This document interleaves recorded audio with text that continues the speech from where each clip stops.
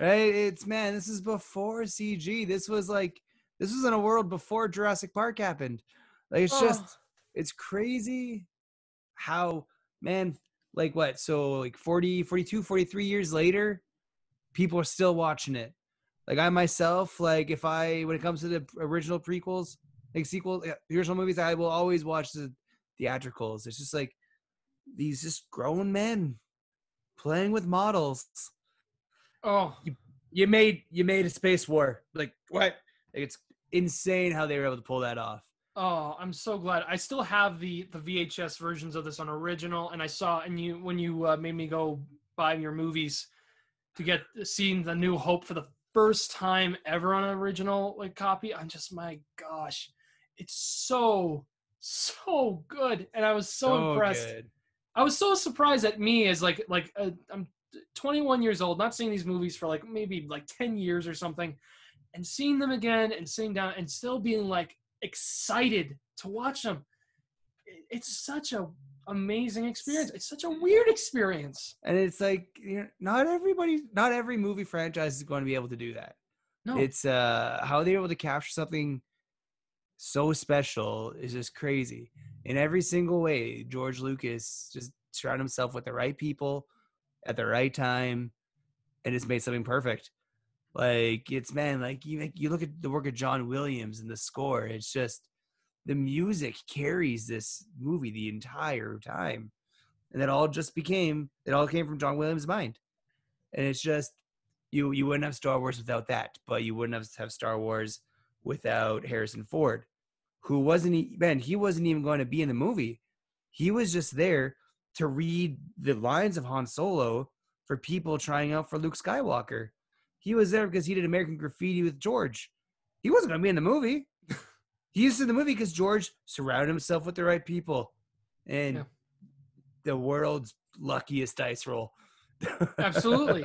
Absolutely. And it's uh, yeah it's like the score is so amazing. And i i will just grammarly c- clarify in one thing when you say carries because i think when carry i think of like it's lugging around the rest of the film.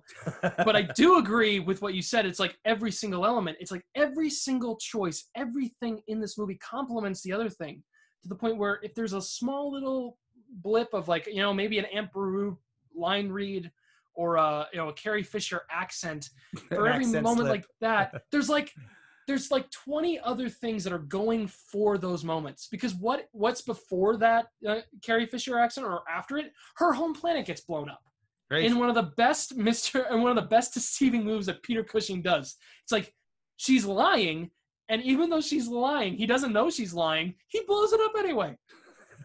and then when it's later, he's surprised. He's like, "She lied to us." I'm like, no kidding. "Yeah, yeah, of course she did." But it's it's it's like one of those moments where you can constantly still, like, even though there's so like faults, not not, not so many. There's just a few faults in this. It still brings it up. Like this movie was nominated for best picture when it came out and while i don't necessarily think uh i would i don't i don't know it's to me it's not like a perfect movie with that and i'm not going to get into a conversation about perfect movies Mhm. but it's definitely one of those films I, I on a technical standpoint in terms of crafting assembly and everything like that i completely understand and uh, unlike a film like uh, Avatar, where it's like you know the idea of a world building and spectacle and something like that, I'm just so tired of it, and it's just so it's like paper thin in terms of the the richness of it.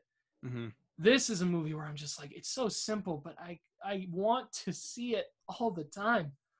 Um, even to the point where R2 at the very end of the medal of the medals, like the medallion giving out, and he's like just there after being dancing. blown up. I'm like, no.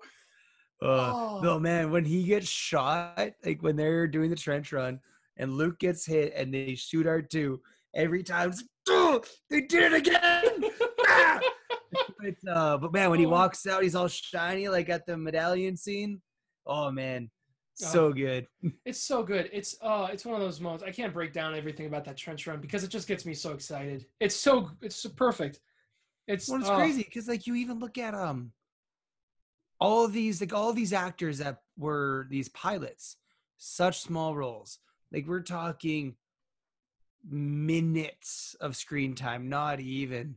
But to this day, the ones that are alive are still out doing conventions, still receiving fan mail. How many years later? And it's because, well, he was Red Leader. Like it's just it's crazy how just the smallest little thing, and it's still so influential on today. Yeah, and I gotta thank you too because like with uh, this movie really made me appreciate everything when it comes to films in terms of like the extras especially. Mhm. Like I pay attention to extras and like I think a lot of the performances from the extras are much fine in this movie. Like there's none that makes me like upset. Like there's a couple again auto uh, audio dubs from like the look sir droids like those moments I'm just kind of like eh.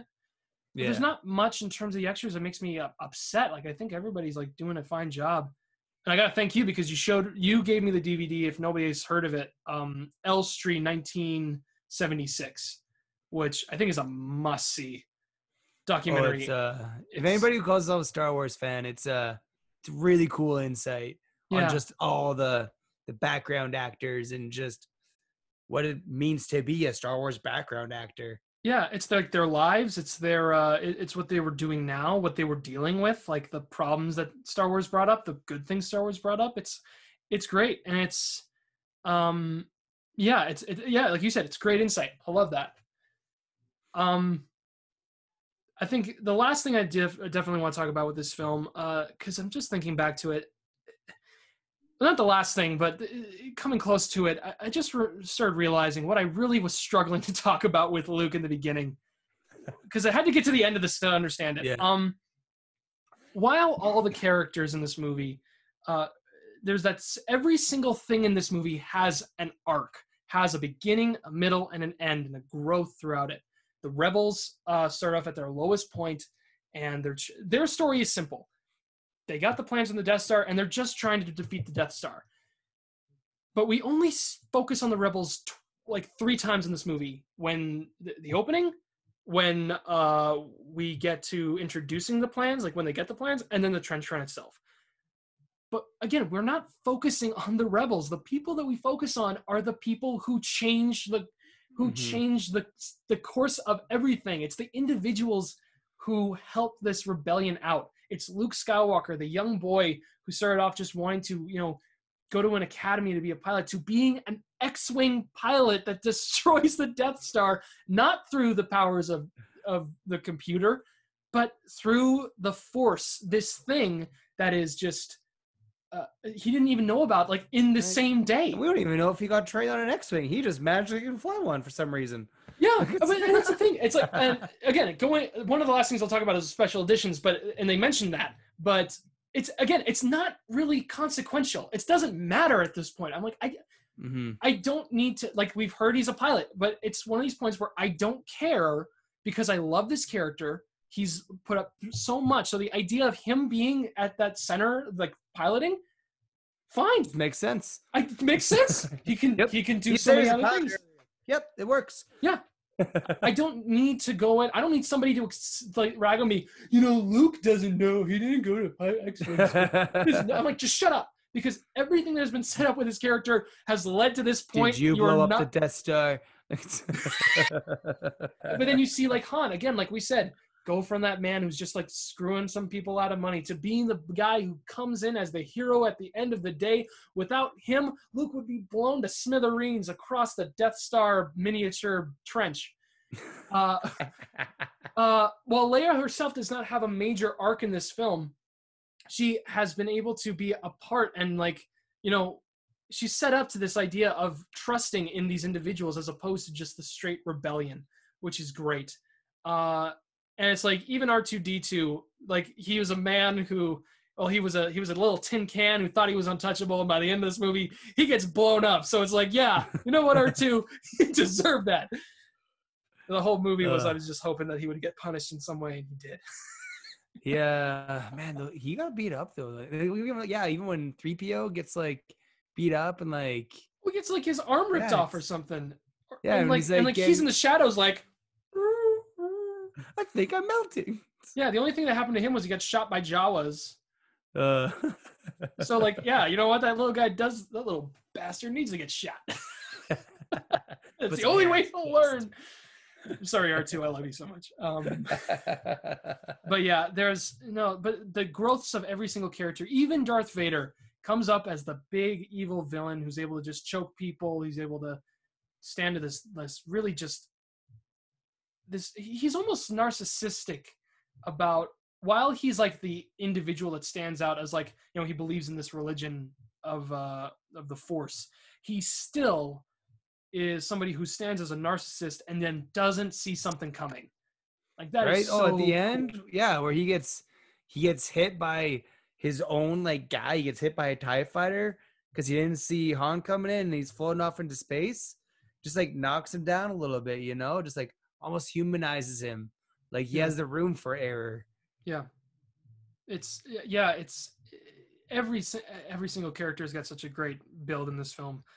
Uh yeah, it's I, I, I and what's so cool is like Ben Kenobi, his growth is so thinky. It's like I you got to sit down, you got to really think about it. And I don't want to do that right now because I've talked a lot about a lot of things right now. Uh, the one thing I do want to get into though for sure is the special editions. So Mhm. as we touched on, we've both seen the original cuts of these films. We've both seen the the, the special editions. Um, I just watched the special edition for the first time in a long time a few days ago, and what I say about A New Hope, if anybody was to ask me, what do I feel about every single Star Wars film, just on its own, A New Hope makes me excited for Star Wars again. Makes me super excited to just go back into this world. A New Hope special edition makes me very mistrustful, if that makes sense. I do not trust because I was watching this movie and I'm like stopping it. It's like, okay, is that a special edition? Edi- uh, like, is it a special edition edition? It's like, is that is that is that blaster fire added? Is that explosion? Like, I didn't even know if the explosion of Alderaan was the explosion from the original film. Um, I didn't know if uh, what was it? I was even like, are the lightsabers changed? Yeah, it's uh, it's I don't know. Like I in what Star Wars people call are, are purists, where it's you know I'm a huge fan of the originals, a huge fan of theatricals, only watch theatrical versions, blah blah blah. Like I understand what George is trying to do. Um, like he even said himself, you know, that his his ace in the hole is editing, where it's like, man, Van Gogh didn't keep keep on like adding stuff to his paintings. It's I understand that you know he wanted to put in the things he wasn't able to put in originally in 1977, but all of a sudden 19 what was in 1993 when Jurassic Park came out? Yeah, when it really like birthed like the special effects and man, I just think it just opened up a whole new world for George, and he just he really want he the, the scene with Jabba the Hutt, for example, in the special edition, where it's yeah, it was originally cut for the original, but it was cut because it wasn't needed.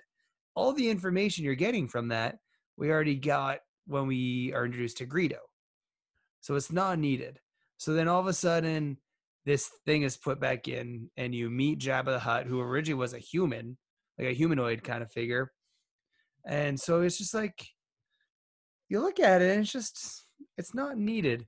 It doesn't feel right. It doesn't look right.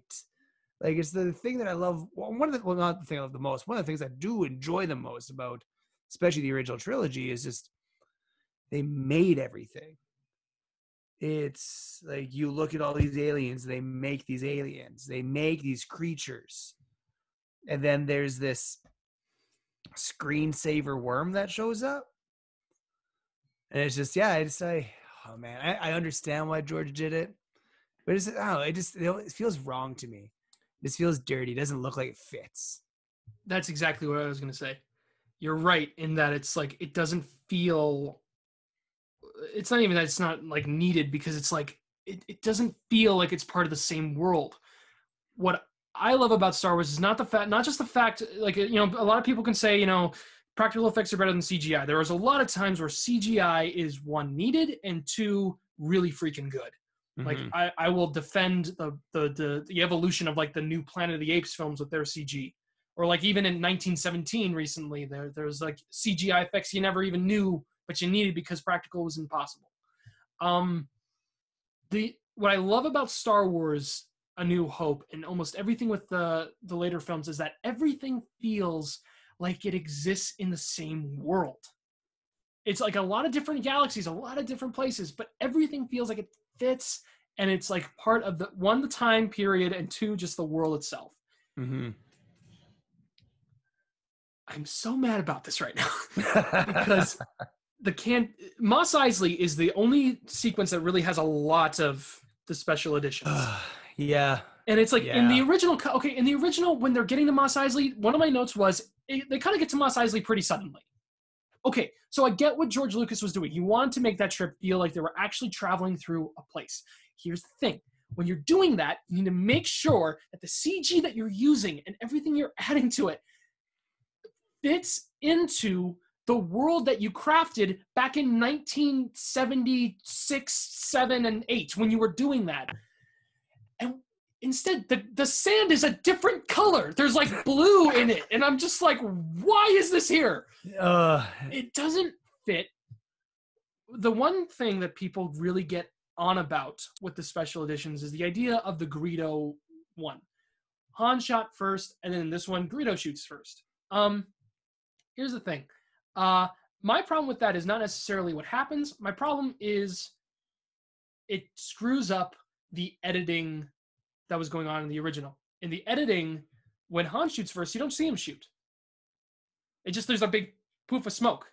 mhm. But it's such a really quick edit that it's just like he's like a he's a quick draw, and it's great. Oscar. Yes, I bet you have. What this does is it holds for like three or five seconds longer. Yeah, Oscar. Yes, I bet you have. well, it's like even if you look, You're ruining you're ruining the, Gives a what is it little, like, pacing of the movie. You're ruining Oh, the pacing of the film. well, it's like you. Oh man, you talk about pacing when they first drive up, and they're just like, you have like 20 minutes of just random activity, just cause, or like just when it's like random, just supposed to be humorous things where you have like a jaw on top of this creature, then it falls down, but it's gonna hold its little like thing to stay on. It's just like why, why? I just want to yeah. meet you. Yeah, yeah. I just want to meet Chewie. I just want to see the guy who's like he doesn't like you, and it's like yeah, that's all we want. And it's like when okay, here's the biggest moment. No, not the biggest, but this is the one. This is the first real noticeable change, um, where where they are just wandering with the lizard creatures. The stormtroopers are out in the desert wandering with the lizards, and it's the moment that we've been talking about this entire review where they go, "Look, sir, droids." Someone was in the pod. The tracks go off in this direction. Look, sir, droids. cut it's done and that's it so we're seeing lizards not for the sake of the scene but for the sake of seeing lizards mm-hmm. because that that was that moment in the film is just again in the original it's just like look sir droids and wipe away to the next moment It's like, oh yeah, they found them. They're in trouble. Oh, but now they have these worm horses. Like, okay, Someone was in the pod. The tracks go off in this direction. Look, sir, droids. yeah and you're right too and when they go to Mos Eisley that thing that's falling there's just so much stuff it doesn't and then when they're about to walk up to the stormtroopers that giant creature just walks in the way like excuse me i'm gonna go gonna go down to my my watering my watering stable because i'm a Mos Eisley monster and that's what i do all my days. I just walk in front of people. Oh what's this? Some people are getting married? Well i'm just gonna walk right in front of the Uh, ceremony because oh, that's what i way? Am I on the way? do yeah, okay, they're they're frustrating. yeah, the worst one though is that Jabba scene. Because exactly what you said. It's like they talked about the exact same thing in the freaking We already know everything you're talking about. they say the same line when he says even I get bored sometimes. You think I had a choice? Even I get bored sometimes. Do you think I had a choice? Even I get bored sometimes. I think I had a choice? It's the same tone, the same line read, which makes me believe that that scene when they shot it, like when they had the regular person, they shot that scene and they had the audio for it. And they don't you don't see Harrison Ford's mouth when he's doing it, so they just took the sound and you know they put that moment there because it was a good it's a good line. It's a good Mhm. line to set up the tension for this because it's like he's focusing on the gun. But then that makes me realize that either George didn't realize he did that back in 1978 or 77 when he was editing the film. And that makes me realize he spent too much time away from this movie to be allowed to put these special edition additions into this film. And what's even worse with that Jabba scene is when you see him, Jabba doesn't look like anything that he looks like in the other films. He doesn't No. look like he does in The Return of the Jedi. He doesn't look like he looks in Phantom Menace. It's a completely different It's- sounding and looking Man, the original Jabba the Hutt was one of the most like intricate, like mu- like puppets they ever Mhm. made. Like I, I not not mean the name drop, but I'm actually like on a emailing terms with one of the guys who played Jabba the Hutt, and so we actually ages ago we discussed in great depth just about you know how it went down, what they did, like how just you know your Jabba the Hutt, how does that feel? and then he he he didn't talk much about like the uh the special effects or the special like uh additions but he's made the comment of just like you know you look at it and it's just the first time he saw it he's like yeah it just it wasn't that wasn't jabba It wasn't that Jabba. wasn't the character that we made No. and it's like it's he doesn't look anything similar and he's just ah, it's you know what? You know what it is, and honestly, Super this annoying. is you know what it is. Jabba sits around. You don't see Jabba move at all. no Like, it, I assume that, like, in terms of when he gets to like his carrier thing away from his palace, I assumed that he was carried there. hmm And so Well, I'm just like, that's that's the one thing you're not getting about Jabba. Jabba doesn't move. Well, look at uh when they and we're getting ourselves ahead of ourselves by a couple movies, but in Return of the Jedi, when Luke falls down the Rancor pit, um, and then they literally grab the thing Jabba's on and pull him towards the pit so he can see.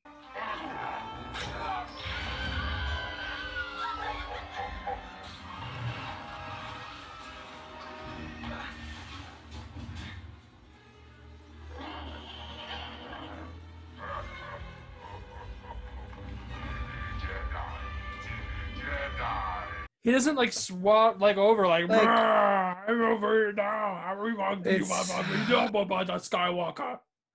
It's uh, well, it's like because uh, it's the thing that oh, the part that in that scene that makes me the most frustrated is when Han walks behind him and steps on his tail. and it's like they had to do it because in the original shot they you know han walks behind the the original jabba and so like well we he went behind him so what do we got oh he's going to step on him it's like man if he did that to real jabba like it return of the jedi jabba he'd freeze him again Oh, you know, he killed he him. just he just takes it like oh, come on There's there's five bounty hunters around him, and he doesn't say anything. Like it's just it doesn't. It's okay. There is no moment in Star Wars, the first Star Wars, that I say this is one of the worst moments of Star Wars I've ever seen. There is nothing like that. There's not even like even as much as I say something's not great. There's nothing in it that is intrinsically awful.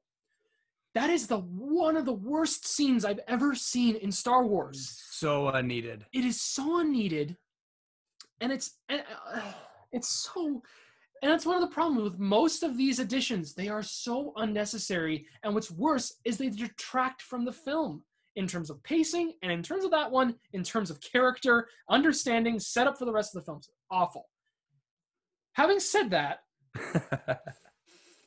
there's one addition i do like there's one which one's that edition, uh, special edition edition I do like, and that is when Han runs down the corridor. when he turns the corner and he goes ah. In the original, it's just like five guys. yeah In the new film, it's an entire hangar of stormtroopers. yeah it's like a whole platoon of them